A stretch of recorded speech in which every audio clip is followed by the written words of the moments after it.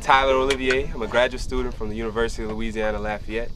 We're here near uh, Vicksburg, Mississippi at about river mile 430. And we're um, surveying the population of river shrimp we have in the area. What's unique about these shrimp is that they're freshwater, they live and breed in freshwater, but the um, larvae must go down to the coastal waters of uh, the Mississippi River as well as the Atchafalaya River to the estuaries or actually out to the sea to develop. They need salt water to develop. Um, so we're actually looking at the migration that they make uh, between these upstream habitats and the Gulf of Mexico. Um, what, what else is unique about these, these animals that they were once found as far up the Mississippi River as uh, places like Missouri, Illinois, Ohio. So they, they travel very extensive distance, distances in excess of about 2,000 kilometers um, along this journey, and it has to be made in both directions. Um, the populations have declined since about the 1940s the further you move up the Mississippi. So we're, we're looking at this, uh, this particular group to um, learn more about the life history, to see how they're actually making this type of journey, how they're making this long distance journey within their lifetime, which is expected to be about one to two years.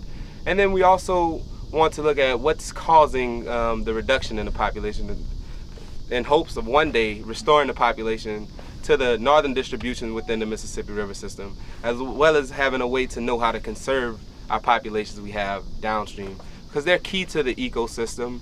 Um, both, uh, well, one economically, they were once harvested as a, a bait fishery and for human consumption, and two, um, as a eco, for the ecological aspect of them being contributing uh, a lot of energy transfer between freshwater and saltwater systems. And with the recent uh, Gulf uh, oil spill, we want to learn how this may um, be affecting the population that we'll have, especially in the Mississippi in the future since that population has been on the decline.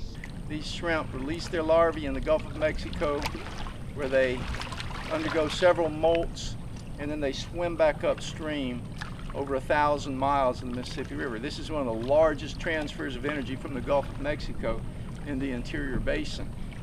And it's very poorly known. That's what we're trying to figure out. How long does it take? How long do these shrimp live? And as an aside, is it being affected by the oil spill?